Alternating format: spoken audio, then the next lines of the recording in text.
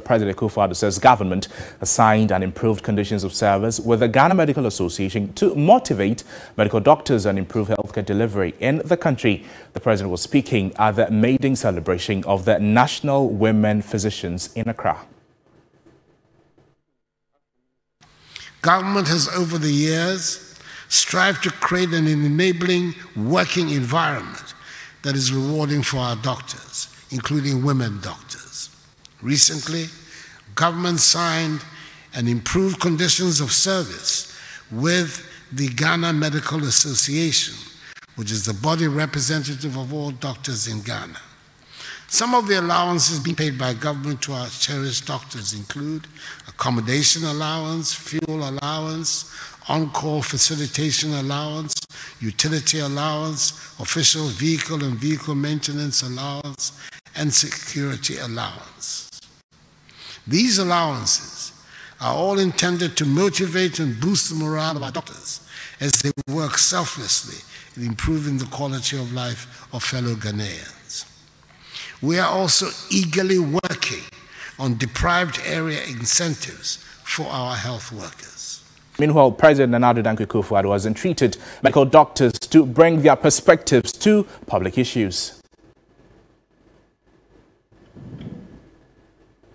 President Akufo-Addo pledged government commitment to work to establish a strong healthcare system of world-class quality which would guarantee health and well-being of Ghanaians. The event held on the theme Young Women, Young Doctors, Our Inspiration, Our Future was also used to honor Dr. Susan Barbara Gyankorama Ofori-Atta, the first female Ghanaian doctor and an aunt of President Akufo-Addo. President Akufo-Addo eulogized the first Ghanaian female doctor, you, doctor, and thanked the Medical Women's Association for the honor. A born leader who was the first senior girls prefect at Achimota School.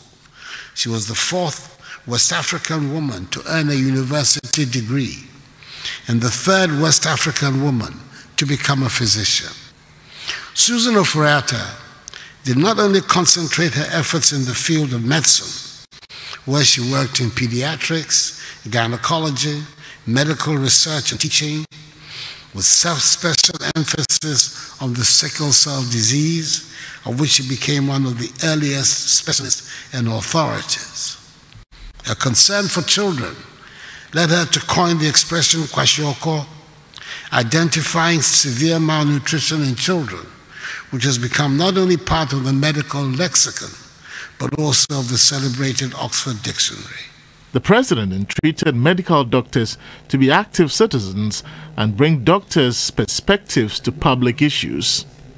You cannot afford to be narrow in outlook, but you must develop and maintain a healthy interest in civic matters, the arts, literature, music, the environment, sports, public life, and yes, I want each one of you gathered here to be a Renaissance woman.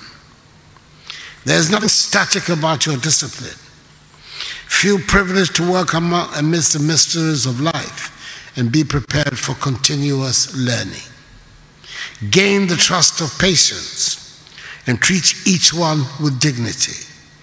Treat too all colleagues in the healthcare chain and not just your fellow doctors with respect.